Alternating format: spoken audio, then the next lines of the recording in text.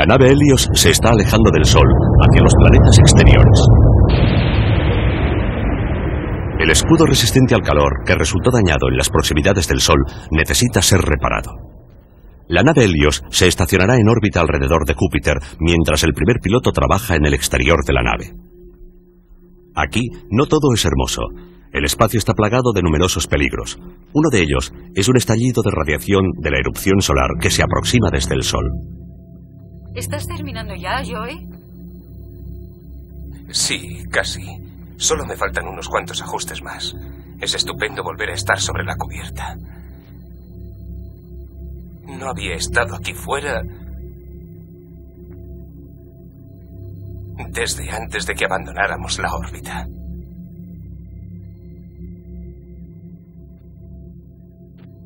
Joy, la radiación de la erupción solar casi ha llegado. Termine.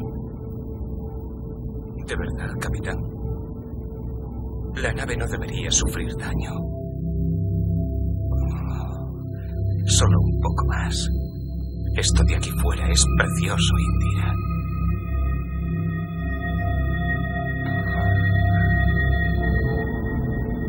Lleva más de cinco horas trabajando ahí fuera. Le he dicho que vuelva a bordo. Pero sí. Sí. Ahora mismo regreso.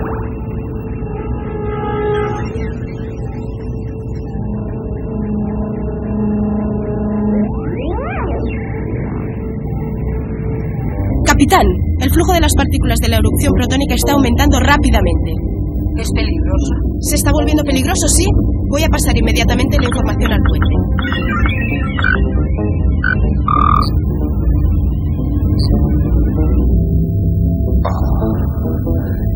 Hacía más tiempo del que creía que no llevaba botas magnéticas.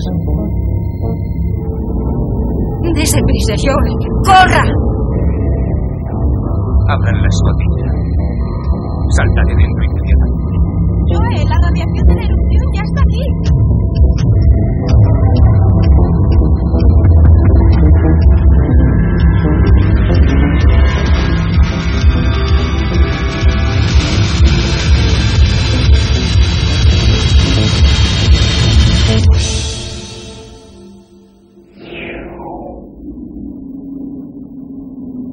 Señor Onoda, cuando doy una orden directa, espero que se lleve a cabo sin vacilación.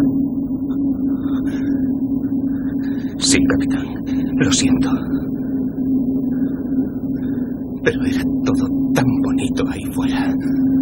Los peligros del espacio exceden en mucho a su belleza. No creí que me resultara necesario recordárselo, primer piloto. Sí, capitán, pero yo... Bienvenido a bordo.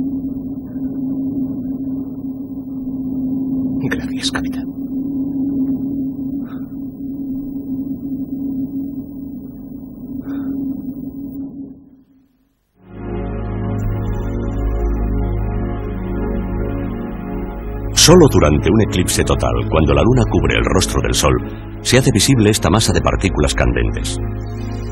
Es la corona solar, cuyo alcance es de varios millones de kilómetros. Es una corriente de electrones y protones sumamente tenue, un plasma extremadamente ardiente de entre 1 y 2 millones de grados, penetrando en el espacio como viento solar.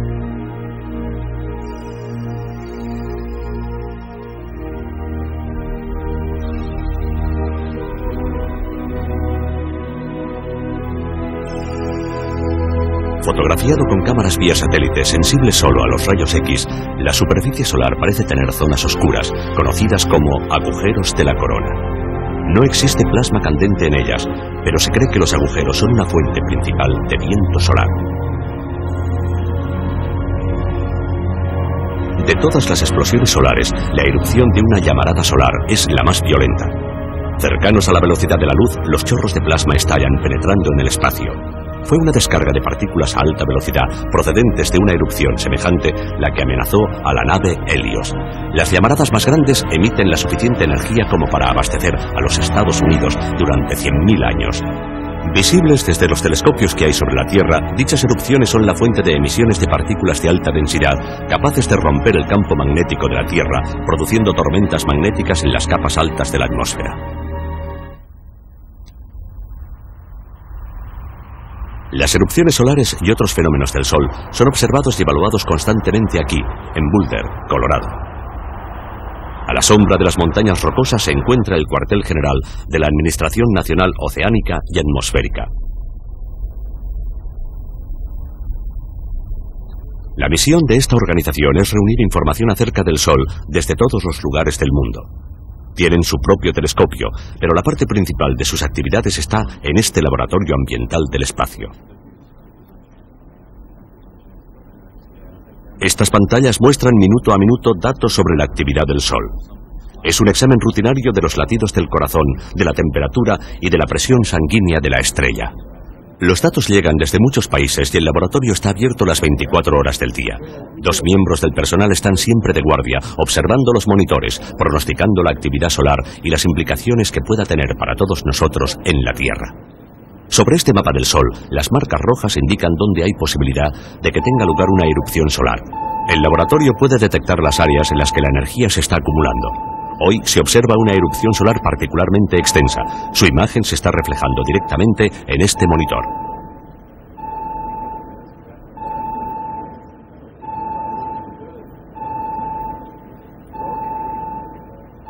Bien, Joe, creo que esta vez es una de las grandes. Parece una X10. Está bien, daré la vuelta con el instrumento de guía y la enfocaré.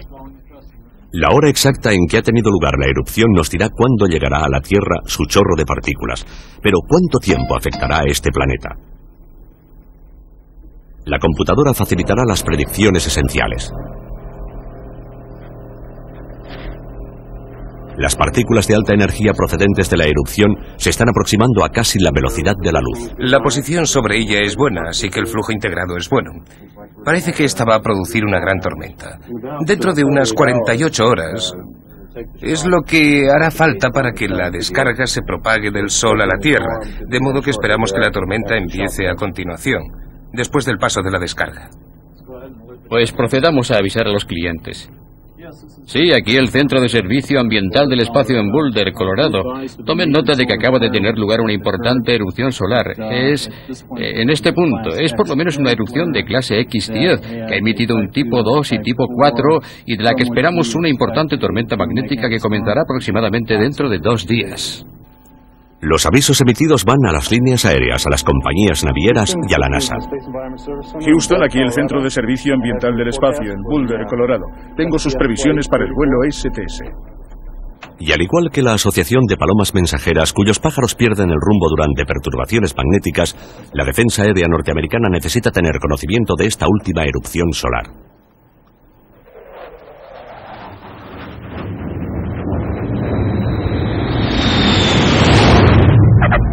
En las profundidades de una cueva en las montañas rocosas, diseñada para utilizarse también como refugio en la eventualidad de una guerra nuclear, se encuentra el cuartel general de la NORAD, Defensa Aérea Norteamericana, un centro neurálgico de las Fuerzas Aéreas de los Estados Unidos.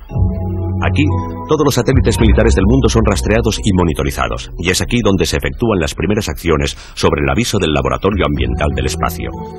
En una reunión de urgencia entre oficiales especializados en astronomía y física se discutirá lo que se conoce acerca de la gigantesca erupción solar.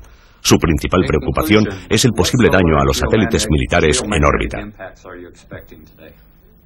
Bien, hoy estamos viendo una tormenta geomagnética moderada producida por la erupción que tuvo lugar ayer. Por lo tanto, lo que esperamos de ella, esperamos un aumento en la densidad de la atmósfera en órbitas, en órbitas más bajas, de modo que esperamos un aumento en el arrastre de los satélites de órbita baja.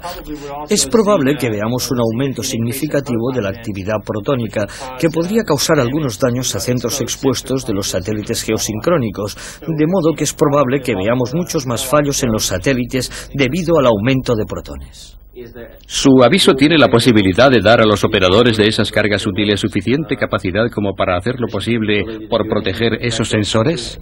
Algunos operadores de satélites pueden efectuar ciertos ajustes en función del aumento de la actividad protónica y tratar de reducir los posibles problemas que podría causar la actividad protónica. En algunos casos sí pueden, pero en otros tienen que limitarse a esperar y ver los daños que provoca. Esta década ha comenzado con el apogeo de la actividad solar, y algunos satélites artificiales han sufrido daños o averías debidos a la intensa radiación de la erupción solar.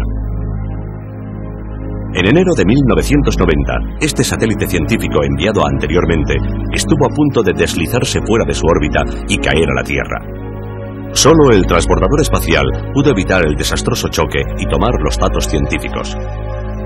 Dicho rescate fue una operación complicada. El satélite estaba a punto de penetrar en la atmósfera y arder. Tuvo que ser agarrado por el brazo manipulador del transbordador espacial e introducirlo en el compartimento de carga.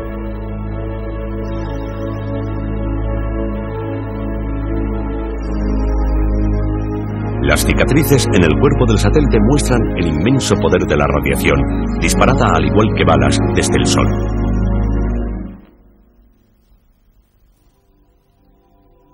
Pero, ¿hasta dónde llega el soplo del menos peligroso y más lento viento solar? El planeta azul Neptuno gira hacia el exterior, cerca del borde del sistema solar. Se sabe que el viento solar va mucho más allá, sus límites exteriores están por lo menos al doble de distancia que hay entre el Sol y Neptuno. Es conocido como la heliosfera. La corriente de viento solar en el borde conocido de la heliosfera está siendo indicada por un vehículo de exploración espacial que abandonó la Tierra hace dos décadas. La voz del Pioneer 10 aún se recibe aquí desde más allá del sistema planetario. En el centro de control del Pioneer, perteneciente a la NASA, se controla la nave espacial más distante de la Tierra. La nave Pioneer 10, lanzada en 1972, está ahora navegando por el espacio a 7.000 millones de kilómetros de distancia.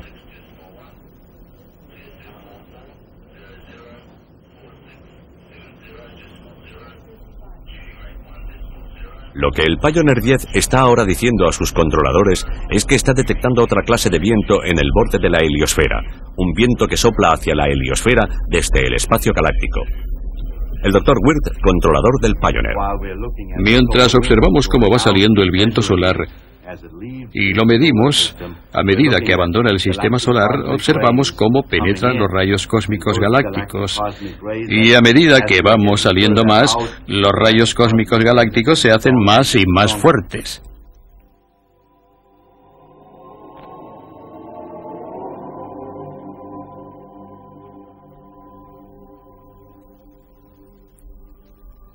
A partir de explosiones lejanas de estrellas, dentro y más allá de nuestra galaxia, ventiscas de partículas compiten a través del espacio. Los rayos cósmicos galácticos, que poseen mucha más energía que el viento solar y destruyen al instante cualquier célula viva, fluyen a través del espacio cual temporal galáctico, avanzando con violencia hacia más allá de la heliosfera. Estas partículas son tan potentes que al chocar contra los meteoritos pueden penetrar en ellos y dejar señales en los cristales que hay en su interior.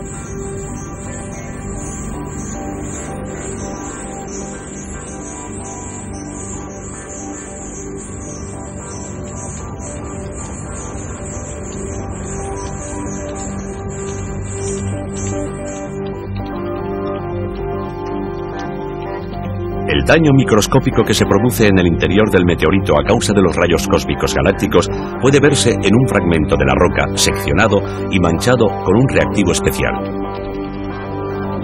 Al igual que lanzas afiladas, las marcas muestran dónde un cristal ha sido señalado por un rayo de alta energía.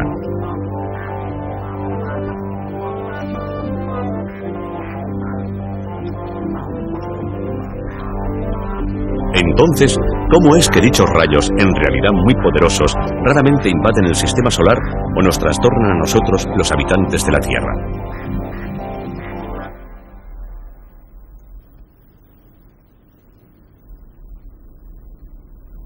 Es una cuestión que está siendo investigada en el remoto Observatorio de Rayos Galácticos en Skull Valley, Utah.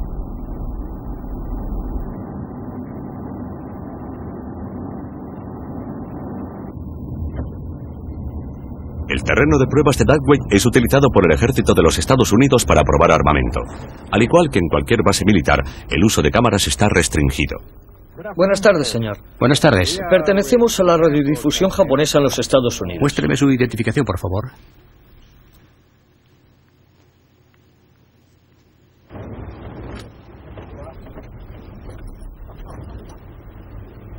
Desde el coche solo es posible una breve ojeada a las instalaciones del observatorio.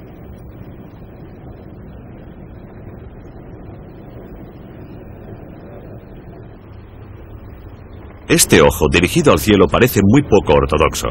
Sin embargo, después uno se da cuenta de que se trata de un ojo de mosca, un sistema compuesto de sensores y que cada tambor o tanque contiene un único receptor que es solo una faceta de la imagen compuesta del universo. El profesor Pierre Sokolsky de la Universidad de Utah diseñó este observatorio y ahora está comprobando cada uno de los 67 detectores para dejarlo todo preparado para la observación de esta noche. Cada tambor contiene varios juegos ligeros de tubos. Esta ventana delante del tubo, la luz entra, es una capa muy fina de material conductor. Y lo que sale del tubo es un impulso eléctrico. Siempre que un rayo galáctico penetra en la atmósfera desde el espacio, choca con átomos tales como los de nitrógeno. Dichos impactos producen estelas de luz débil, destellos visibles solo para estos detectores extremadamente sensibles que hay en el interior de cada tambor.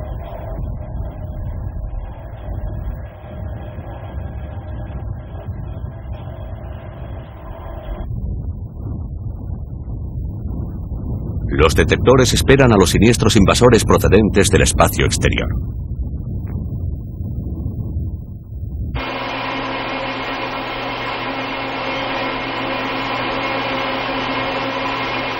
La observación no puede empezar hasta dos horas después de la puesta del sol, cuando la oscuridad es completa. El aislamiento de este observatorio asegura que no haya interferencias de luz sobre el suelo. Cualquier débil destello capturado por el sensor enciende la correspondiente luz sobre este cuadro. El mosaico de los 67 tambores numerados da cobertura a la totalidad del cielo. Un rayo galáctico procedente de cualquier dirección de las alturas debería anunciar su presencia a través de este tablero. Ahí hay uno, es de los buenos. Oh, ¿este? ¿Sí? ¿Rayo cósmico? Ajá, y este tiene bastante energía. ¿Qué fuerza tiene? Es probable que esté alrededor de los 70-18. En los últimos años se han venido registrando cada vez menos rayos cósmicos galácticos en este observatorio de ojo de mosca. Ahí hay otro rayo cósmico. Y lo que intriga al profesor Sokolsky es que la disminución en el número de rayos cósmicos está teniendo lugar precisamente cuando el viento solar se está haciendo más potente. Ese también está muy lejos.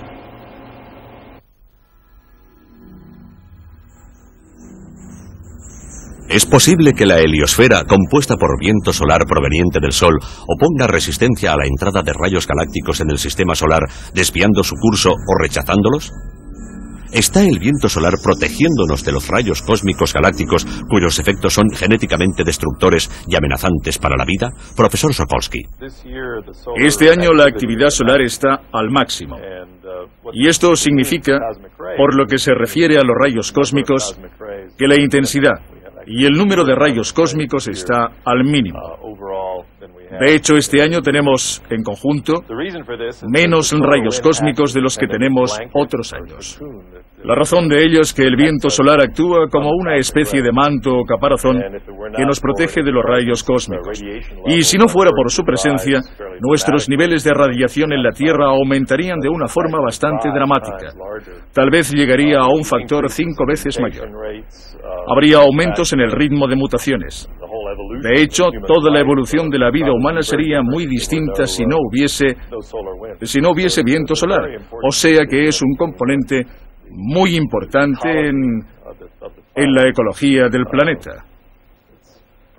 Tal vez no sea ampliamente valorado, pero estamos protegidos por el viento solar.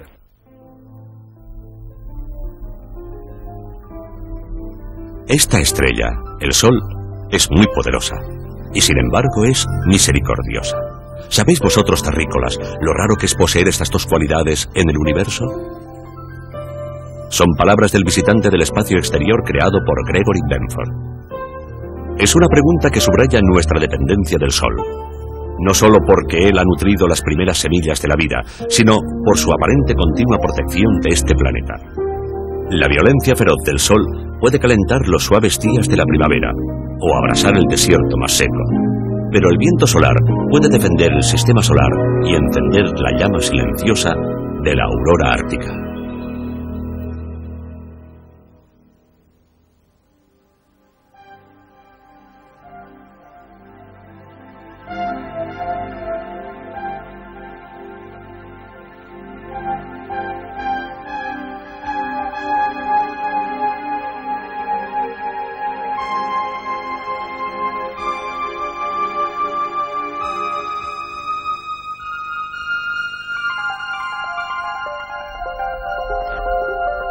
Arriba, por encima de las regiones polares, el viento solar atraviesa el campo magnético de la Tierra.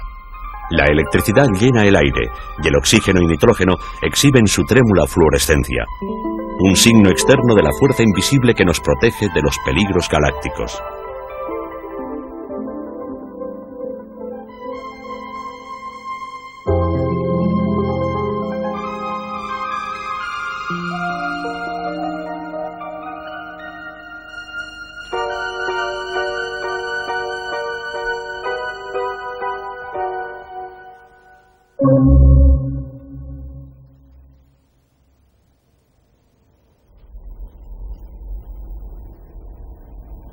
Nave espacial Helios se está aproximando a Neptuno sobre el borde distante de nuestro sistema planetario.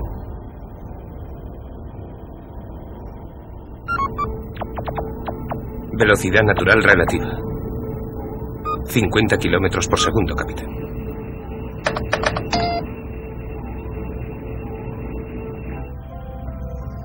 También aquí, el viento solar crea una visión familiar sobre el polo de Neptuno.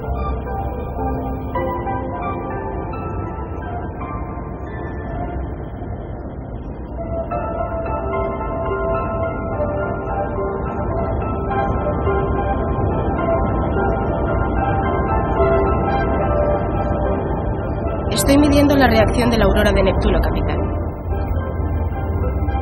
Los sensores y diagnósticos están funcionando perfectamente.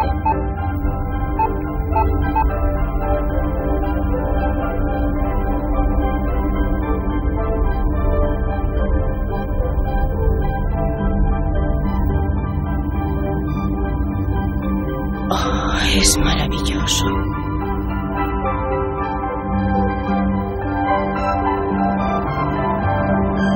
Es un último recuerdo del Sol y la Tierra, mientras la nave Helios se prepara para abandonar el sistema solar, nuestro hogar.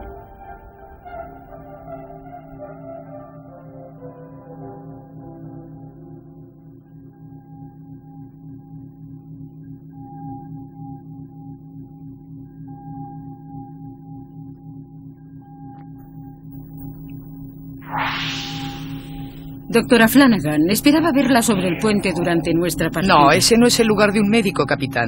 Y además quería estar segura de que los suministros médicos de la nave estaban en orden. Me alegro de verla, Indira. Y yo de verla a usted, Morín. Veo que ha traído una amiga. Sí, bueno, yo... Sí, lo sé. Su permanente pasión por todas las cosas vivientes. Tal vez encontremos algún nuevo tipo de vida en el viaje. Sinceramente lo espero, capitán. He convocado esta reunión porque he pensado que nos gustaría mandar nuestras últimas transmisiones a la Tierra. Tan pronto como nuestros motores estén a máxima potencia, a nuestras señales les resultará difícil atravesar el plasma caliente del escape de la nave. Así es, Benjamín. Yo hablaré primero, mientras ustedes reflexionan. Ya ha llegado el momento.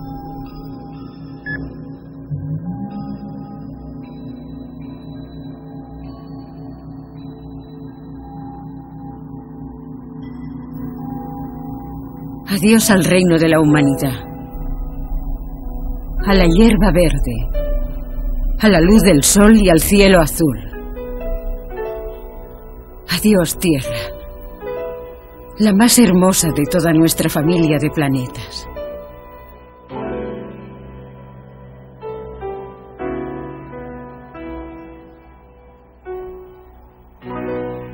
Hola a mis colegas. Ojalá que este trascendental viaje nos lleve más allá en el espacio y el tiempo del que vosotros podáis vivir. De forma que la maravillosa sabiduría que descubramos pueda pertenecer a vuestros sucesores. Adiós.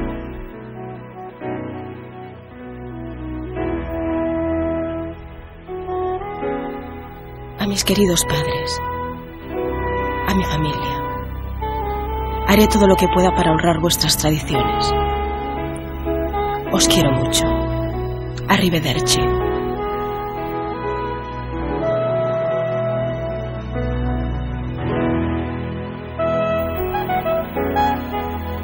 Quiero pedir a todos aquellos que comparten el espíritu del vuelo que se unan a nosotros con sus sueños de un gran viaje en la buena nave Helios.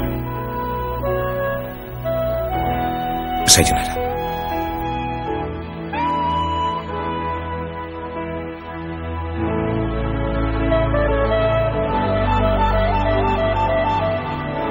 Adiós a la vida de la tierra. Espero que descubramos tus lejanos semejantes.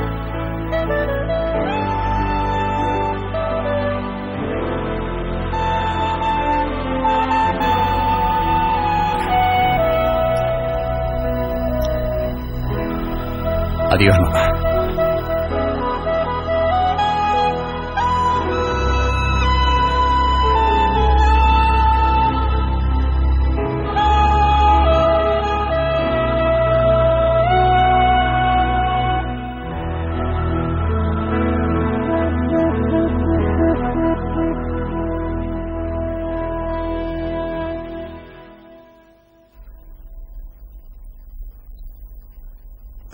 El reino del espacio, dominado por nuestro Sol, es difícil de imaginar. Imaginen que estoy sobre la superficie solar y empiezo a caminar. Eh, pensemos que cada paso equivale a la distancia que hay entre el Sol y la Tierra. Voy dejando atrás los planetas y voy hacia regiones más frías, hasta que al final, después de 30 pasos hacia afuera, llego a Neptuno y Plutón. Aún más allá, se abre una vasta zona en la que el viento solar actúa como caparazón, alejando los rayos cósmicos galácticos. Unos 70 pasos más adelante, alcanzaríamos la inmensa negrura en la que incluso el viento solar desfallece. ¿Qué es lo que nos acecha más allá?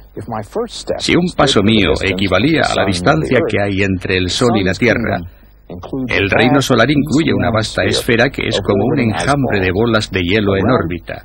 Un reino que se extendería más allá del borde de este cráter y llegaría hasta el lejano horizonte. Los planetas son solo una provincia menor en el reino solar.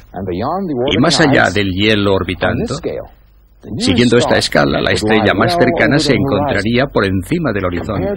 Comparado con la escala de la Vía Láctea, nuestro sistema solar no es más que un grano de arena. Allí hay abundancia de grandes estrellas, pero hay otros sistemas solares como el nuestro girando a su alrededor. El borde de nuestro propio sistema solar es el punto de partida hacia esa inmensidad que está esperando ser explorada.